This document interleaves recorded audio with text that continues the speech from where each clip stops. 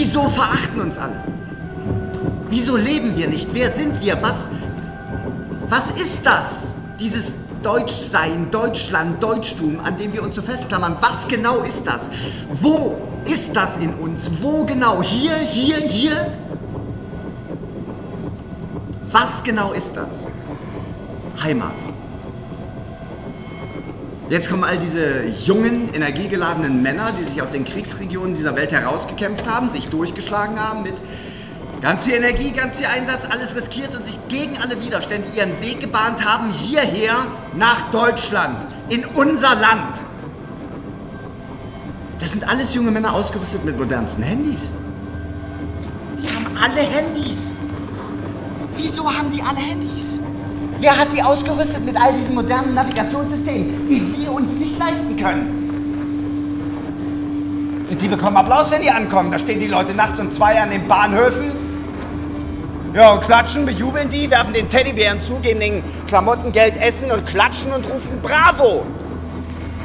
Die werden bejubelt wie Sieger wie Olympiasieger, wie Zehnkämpfer, Gladiatoren, die unter allen Grenzzäunen hindurch an allen Sicherheitskräften, den serbischen, mazedonischen und ungarischen Soldaten vorbei, ihren gefährlichen Parcours bis zu uns, bis tief in unsere Festung zurückgelegt haben und jetzt hier einlaufen wie Helden.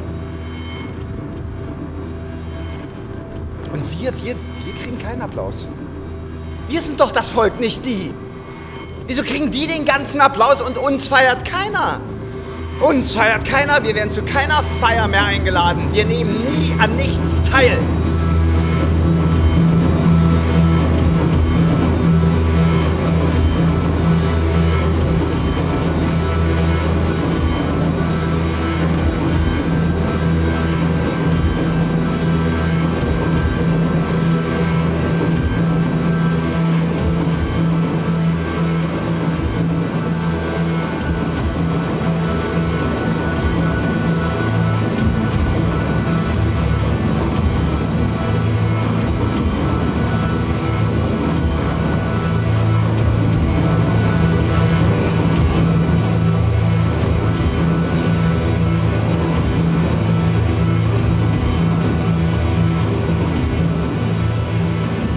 Ich hatte irgendwie äh, keine Lust, mich mit all diesem Zeug zu beschäftigen. Ich wollte lieber an den See fahren oder irgendwo rumliegen oder rumsitzen oder rumhängen, also irgendwas mit rum.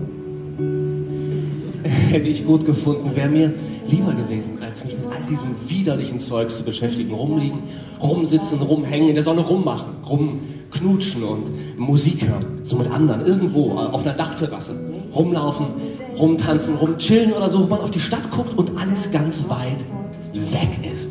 Also all diese Menschen und deren Probleme und was die sagen und wie die sprechen und was sie posten auf Kommentarspalten und auf YouTube stellen, einfach alles ganz weit weg ist und man das Gefühl hat, das lasse ich jetzt lieber alles bei euch.